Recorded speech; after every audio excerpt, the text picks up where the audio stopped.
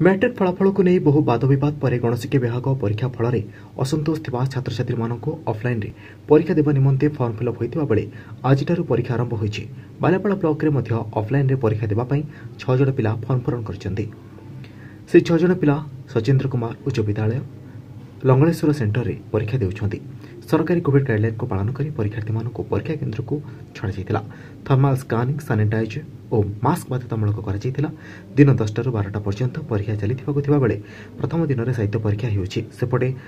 ଶ୍ରୀ ହରିଚନ୍ଦ୍ର ଉଚ୍ଚ ବିଦ୍ୟାଳୟ ଦେଭୋଗ୍ରେ ମଧ୍ୟ ଦୂରଦୂରାନ୍ତର ଶିକ୍ଷାର ଅଣଚାଳିଶ ଜଣ ଛାତ୍ରଛାତ୍ରୀ କୋଭିଡ୍ କଟକଣା ମାନି ପରୀକ୍ଷା ଦେଉଛନ୍ତି ମୁଁ Bhagabat Pradhan headmaster SK high school Angaleswar ଆମର ଏଠି ସ୍ପେଶାଲ ଏକ୍ଜାମିନେସନ ହେଉଛି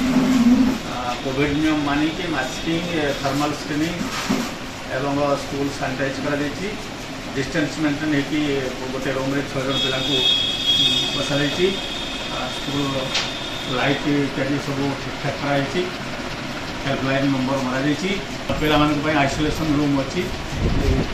ଆଉ ଗାର୍ଡ଼ିଆନ୍ ଯେଉଁ ଆସୁଛନ୍ତି ଗାର୍ଡ଼ିଆନ୍ ଯେଉଁମାନେ ଆସୁଛନ୍ତି ତାଙ୍କୁ ବସାଯାଇଛି ବାହାରେ ପରୀକ୍ଷା ହଲ୍ ବାହାରେ ବସାଯାଇଛି ବାଲାପାଳରୁ ଲକ୍ଷ୍ମୀଧର ପ୍ରଧାନଙ୍କ report Mahak TV news Mahak TV news ସତ୍ୟ ଯେପରି ଖବର ସେହିପରି লেটেস্ট খবর পাই লাইক শেয়ার সবসক্রাইব এবং ফলো করন্তু মহক টিভি নিউজর ফেসবুক ইউট্ୟୁব এবং ଟ୍ୱିଟର ପେଜକୁ ଅଧିକ ତଥ୍ୟ ପାଇଁ ଲଗ୍ଇନ୍ କରନ୍ତୁ ଆମ website W W W dot Mahak TV dot ଇନ୍ରେ ଏବଂ ଡାଉନଲୋଡ୍ କରନ୍ତୁ ମହକ୍ ଟିଭି ଆପ୍କୁ ଗୁଗଲ୍ ପ୍ଲେ ଷ୍ଟୋରରୁ